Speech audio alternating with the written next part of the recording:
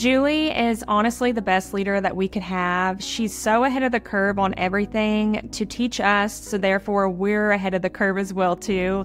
And her training is just top notch. She's always there for us, um, just a call, email, or text away. She's she's there to help us through different scenarios. And with our training we have once a month and now weekly, she also too we've been doing buyer rep training because now with the NAR lawsuit we are ahead of that and we're rolling out these buyers reps and we're prepping our buyers to not fret and that everything's going to be okay.